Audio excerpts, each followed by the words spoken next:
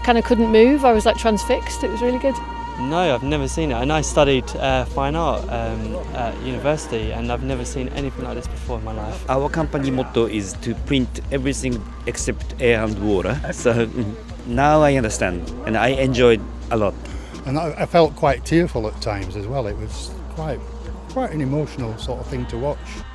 We're doing very experimental pilot uh, with, uh, which is called, it's a project which is called Animotion, and it's a project which brings together music and painting in real time. Uh, but now we want to also try and add architecture to it and projection art. So um, it's the very first time this will be, I believe, ever done live, and we're very excited about it.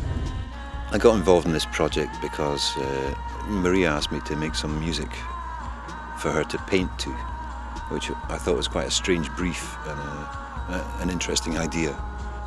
Well, so far it's been going really well. We had a proper run through last night, which was the first time any of us had really seen what it would look like on the front of this building, which it was absolutely incredible. The main aim is to bring together music, painting and architecture. Uh, and also because of the element of projection art, which plays incredible role, especially now. It's played much less a role in previous animations because we simply project it onto a screen. And now the building becomes a canvas, the building becomes a major, major feature of animation. We got in situ and uh, I think when there was a good sound and looking at how what happened with the projected images on a building and the building itself is really amazing and the fact that we're in the Institute of Astronomy it was just um, really quite amazing it's not just the music and not just the visuals but it's actually the environment that is part of the art in a way I didn't think the idea of um, putting it on a big thing like this was necessarily going to work.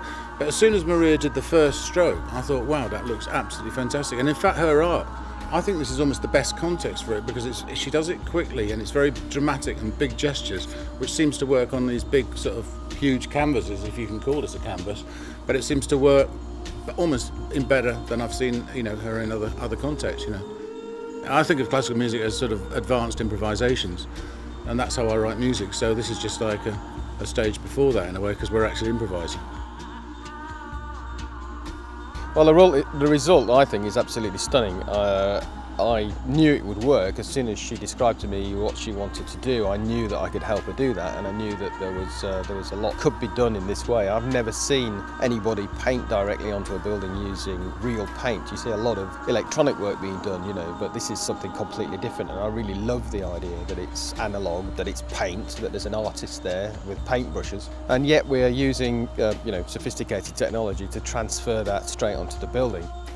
With uh, building playing such an important part, we, we, can show it to a lot of people and that everybody who would like to see it can see it because all venues in the walls are quite limited, not only by capacity, but unless you're in a club, you actually have to sit still.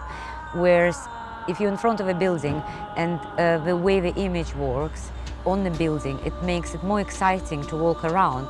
So it gives audience a freedom which it normally doesn't have in uh, you know conventional venues. We want to get away from rigidity of a show and make it as informal and as accessible as possible in the best possible way sense of this word.